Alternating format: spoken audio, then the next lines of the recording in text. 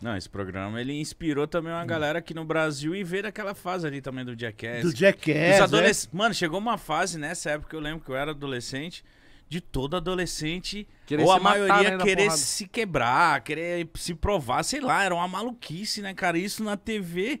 Teve casos ali que não precisa contar se tiver. que, tipo, na hora fala, não, para de filmar. Não, não, isso não vamos postar. Teve casos assim do tipo. O moleque se machucou, quebrou o braço. é, não, tipo, não, não, não, isso aí é feio. Teve? Cara, eu virei vegetariano no, no programa Freak Show, do Gordo Freak Show, cara. Mas qual foi o estopim? O estopim foi que eles colocaram umas minas pra lutar na língua de boi. Calma aí.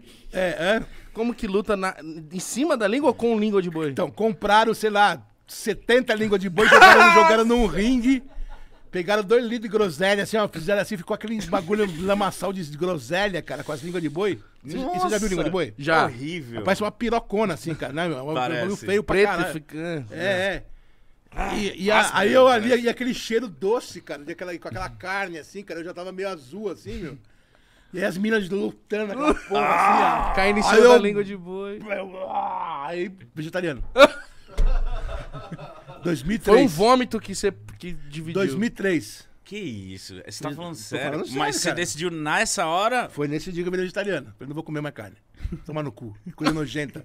Não, mas isso aí É. foi muito nojento, mano. Foi muito nojento, cara. Credo, qual foi a parada mais Ah, nojenta que você lembra, assim, que você... Isso eu sei que foi, mas outras coisas assim nojentas. Groselha com língua de boi. O mano. cara isso é comendo verdade. sanduíche de bosta de vaca, velho. Não, mas como... Ô, mano, eu Tava achava... mole ou tava seca? Ah, acho que não lembro, cara. Eu tava, sabe, o comendo isso aí, comendo com uma cara de. O cara comendo um pote de manteiga gigante, assim, cara. Cara, meu, o programa era muito absurdo, cara. Caralho, mano. Mas não deu nenhuma merda, nenhum processo? Nunca deu, era um maior sucesso Era, bagulho. Era, era. todo mundo amava, cara. Mas aí chegou uma hora daqueles. Ah, puta, ficou pesado o negócio ali, né, meu? Agora. eu imagino ele naquela época. Eu faço o que eu quero, Teve caralho. um, cara, que foi aquele UDR. Tá ligado essa banda UDR?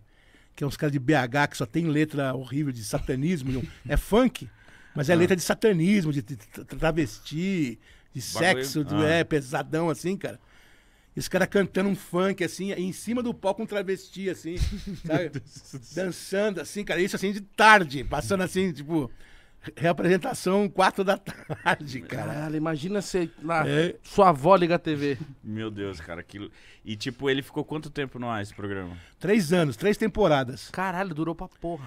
A gente pegou também bastante aqueles é, artistas de rua, né? Que faziam a Praça da Sé. Seu Cláudio, seu, seu Adão, que ah, come moeda fervendo. né? Ia buscar eles na Praça da, da Sé e trazia ele, o Índio Chiquinha. O que, que o Índio Chiquinha fazia? Puta, ele ia fazer uma dança horrível, assim, cara.